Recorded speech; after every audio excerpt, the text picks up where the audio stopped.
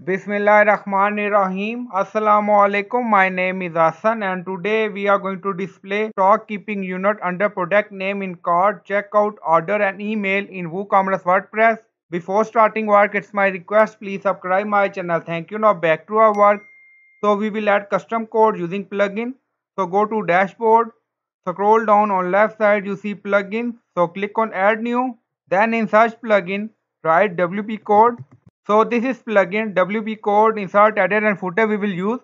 So you will install this plugin and activate it. And after activation scroll down. On left side you see code snippet. Then you see add snippet. So click on it. Now scroll down.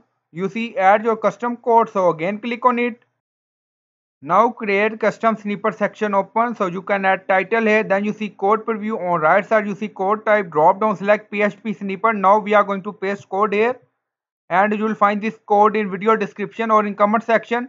In code you see SKU so you can add your text if you want. Then you see code. So SKU add in cart or checkout page under product name.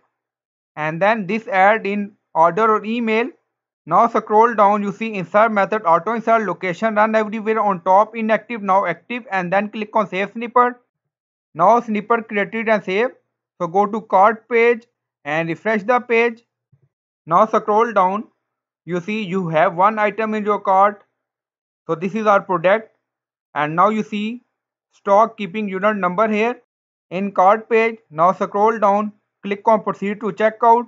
Now we are in review and payment section in checkout page. Now you see SKU. Now scroll down. Then click on place order.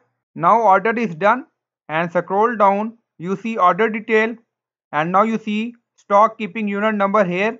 Now go to email to check. Now we are in email section and email we receive. Now you see product and then you see stock keeping unit number also in email. Now back to code. Now scroll down.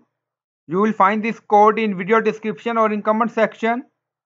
So i hope you like this video. Please like comment share subscribe. Thank you for watching